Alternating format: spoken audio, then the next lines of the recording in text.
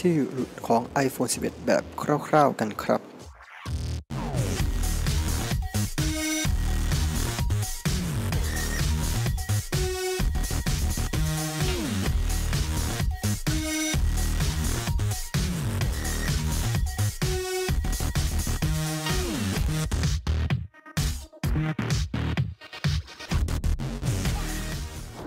สิ่งใหม่ที่เกิดขึ้นนะครับมี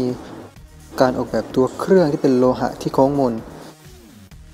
และมีชิปประมวลผลรูปแบบใหม่ A13 Bionic เพิ่มการรักษาความปลอดภัยแบบสแกนลายนิ้วมือที่ฝังเซ็นเซอร์ไว้ในจอ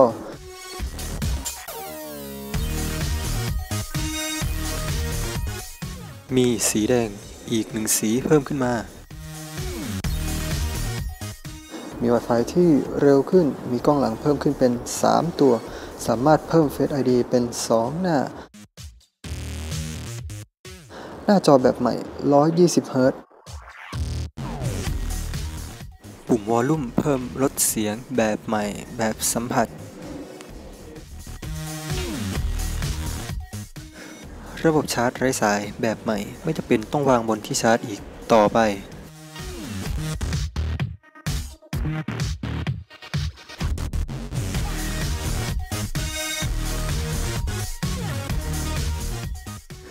าจอมี 3 แบบขนาด 4.75 5.5 นิ้ว